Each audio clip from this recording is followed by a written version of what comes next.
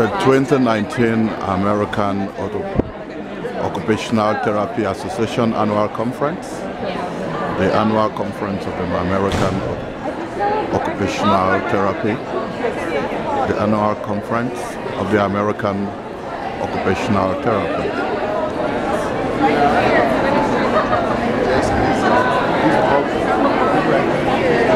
We are at the New Orleans Convention Center this 4th of April 2019 where the American the American Occupational Therapy Association conference is taking place here in New Orleans.